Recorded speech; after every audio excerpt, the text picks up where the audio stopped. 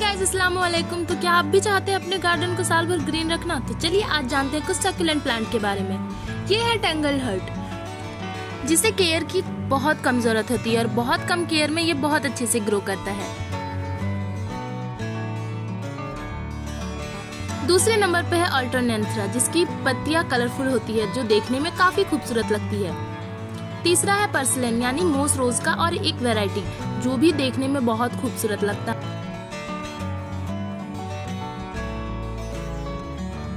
और चौथा है टर्टल वाइन जो बहुत इजीली ग्रो करता है और आपके गार्डन को साल भर ग्रीन रखता है। इसे केयर की भी बहुत कम ज़रूरत पड़ती है।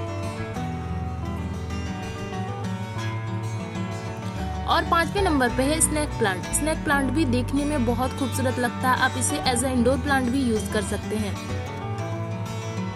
Thanks for watching